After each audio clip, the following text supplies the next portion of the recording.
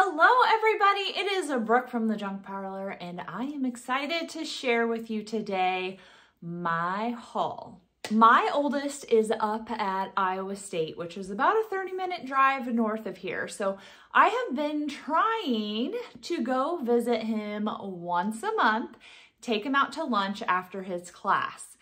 But I am very strategic in what I do and I want to make good use of my time. So of course, while I am driving up to Ames, I also go sourcing for vintage.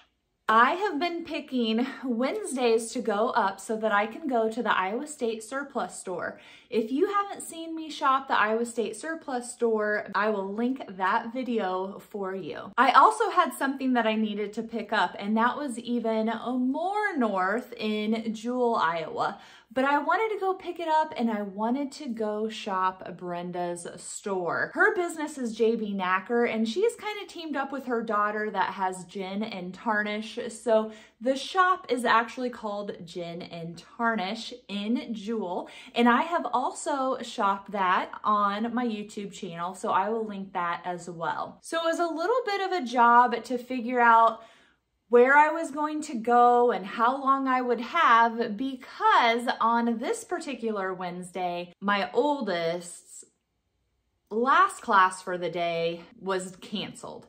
And so that kind of changed our normal routine for a Wednesday because then he had to go to work earlier as well. I drove up, I went to Iowa State Surplus, and every time I go, I look on their Facebook page slash website to kind of see what items there are because honestly, up until this time, this trip, I really hadn't bought anything, maybe spent $5. And I looked, I was so disappointed because they had had probably, I don't know, 10, 20 dress forms, probably three weeks prior. And again, I only go once a month. And I don't even look because I don't want to be disappointed that I'm missing out on something.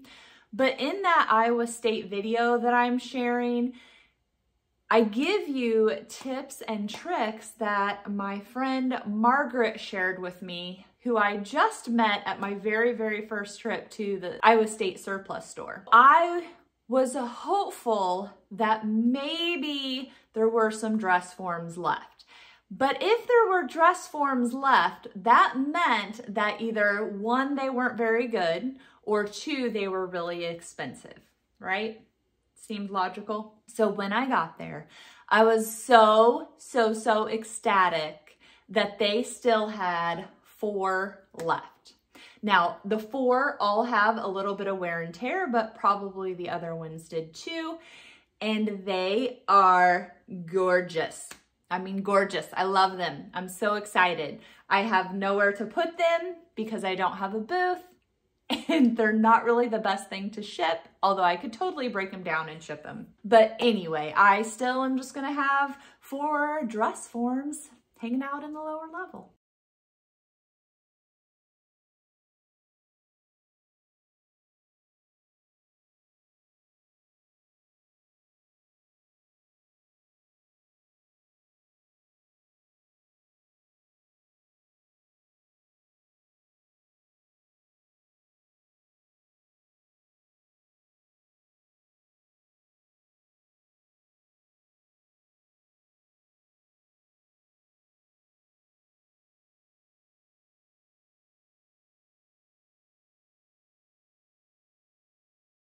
So after the Iowa State surplus store, my next immediate need was to go to JB Knacker and pick up my item.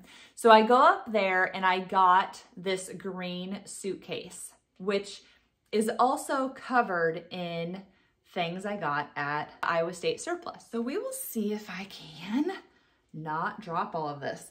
So the very first trip I made to the surplus store, I was looking for little beakers and little containers like this. And guess what? This time they actually had some and this is the first time that they have. So I left some, I didn't take all of them, but I grabbed quite a few because they haven't had them when I've been there so far. I think these would be good for propagating. You could put your collection of dice in there, buttons in there, use them as a vase for feathers or hat pins or anything and everything. I love them.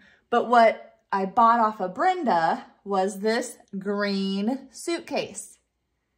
So it is not exactly the color and style, not style, it's the shape, but maybe not the style of the suitcase that I thought it was in her Instagram stories, but that's okay. I know being a dealer that sometimes photos, videos, even if you don't put a filter on them or edit them in any way, that they can sometimes look different. But the price was right, and so I grabbed it.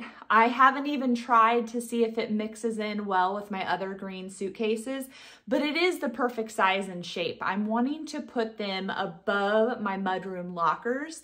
I had some metal bread tins there, but bread tins in your locker, maybe not make a lot of sense, even though they were the right size. And then I sold one that I had there.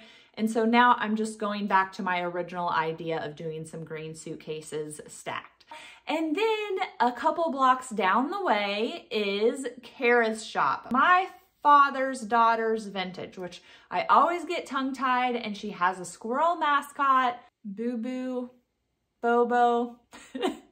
and I always say it wrong. My memory is terrible. I cannot remember. So I mentioned to Kara that I was going to be at Brenda's, didn't know the time schedule and how everything was going to work out because I had to meet my oldest for lunch and blah, blah, blah. So Kara said she was going to be there working anyway, so it worked out well. I got to look at her new store, which is beautiful.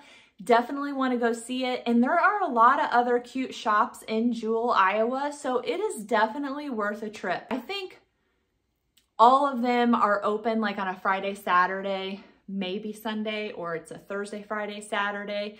So just make sure you check their hours so that you can hit them up when they're all open. They were just opening special for me because I contacted them. So I didn't even get to visit the other shops and I wouldn't have had time on this particular day anyway. From Kara, I did grab a couple of things. I got a Bible, which you know I love stacking them. The cover is literally ripped off and just laying here in pieces. And then I don't know what it is about this brush, but I'd seen it in her shop another time I was there and I hemmed, hawed, and debated on it. And then this time I got it. So I love it, love it, love it. It's super cute, unique. Um, don't know if that's a repurposed handle or what the situation is, but I liked it. Got a big beaker from the surplus store too. What I ended up doing with the beaker is just put it here in my windowsill. I had used a plastic recyclable container to plant, I think this is like an inch plant. And then I just went ahead and put it in the beaker because I don't know if you can see, but it's a very murky. There's like dots stuck on it. And I could not could not get that to come off. So I would say whatever chemicals or science lab stuff they used made it permanent, but we're using it anyway. Next up, I went out to lunch with my oldest. It's a great chance for us to sit and talk. We maybe are not the best communicators, and so something about eating and talking that way is a little bit less threatening so I can pull some information out of my son and so we know what's going on in his life. But he is doing really well and he ha is having like his third interview for an internship. So fingers crossed he knocks it out of the ballpark and gets that internship. After eating with my oldest, I went to Overflow. So I've talked about Overflow before. They have a location that's clothes and the, a location that's household and hard goods. So of course I went to the hard goods store. I did end up buying a couple things. I've made a lot of trips there and left with absolutely nothing. But this time I came home with a, I think it's called a take down rifle or shotgun case. And it is leather, but it is definitely worn. It's soft and I cannot find a maker's mark anywhere. When I was looking online just to see kind of what this thing was called, um, some of the maker's marks or tags were on this little divider. Well, this one doesn't pull out, so I'm assuming it's not on the other end. But I have no idea um, if it's a particular brand. There is a number here on this piece that says SS30. I have no idea what that would mean. But I loved it. I have been really into hunting and fishing and cabiny stuff lake stuff, but not like coastal beach lake stuff. I don't know. Has to be the right color and patina. But I love this gun case. And actually I picked it up and a guy immediately was, immediately was like, where did you find that? I'm like, it was just leaning over here. it was kind of in a hidden spot. And he's like, oh, and he was asking me about the maker's mark. And he's like, oh, you got a good deal on that. Um, I thought it was priced high for the thrift store, but these do go for a decent amount. I like it just for looks. I mean, obviously I wouldn't be using it, but I think it would be fun to style with, especially when you see my epic estate sale haul or my most recent epic estate sale. Isn't every good estate sale haul an epic one until the next epic one? Okay, I had these little copper measuring cup setting on this green recipe index card holder. I got this at the state surplus um, store as well. You know I love green. And then these little guys, I got at Collectamania. They are actually measuring cups. So it says like one cup on the bottom and Korea, I think. Yeah, Korea. But I would never use them. I don't even know what you'd use them for. The only thing I could think of is like a shot glass or mixing drinks or something. But look how good they look. So super excited to display with those. Collectamania, I got this Santa. He is so good. Like, I think he's made out of a sock, and I'm sorry, my lighting is not the best, but I think he's made out of a sock and then hand stitched He's got these little bells. He's got a felt, um, no, it's not felt. Yeah, it is some kind of felt. A belt. I mean, you can tell on his hands that it's some kind of like sock, sock material. I just loved him. He's a handmade, but he's a good handmade. And again, my memory is terrible, but I think I got this at Collectamania too. Yes, I did because it was actually in the same booth. The complete Christmas book. I mean, how perfect is that? Now, I can't say that I like the paper label. I personally would take it off because look, it's a red and green hardback book and it has the Christmas info on the spine. So I would trash that paper thing or put it in a junk journal or something. Most of the slate boards that I have are family ones.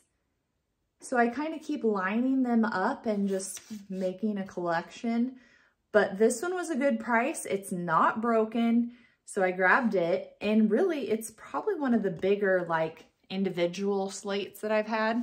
You know every week I go to Thrifty Flea. This week this was all that I got off of him. But it is a very unique thermos, universal vacuum bottle, and I just like the look of it. It would be good for fall, good for Christmas, good for camping. A lot of times I will pop into St. Vincent de Paul down by the hospital. I think it's 6th Street.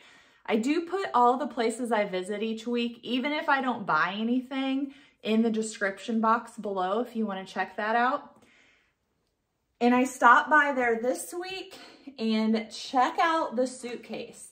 Now, it is absolutely covered in cat or dog hair, but nothing a lint roller can't get out. The inside really looked fine.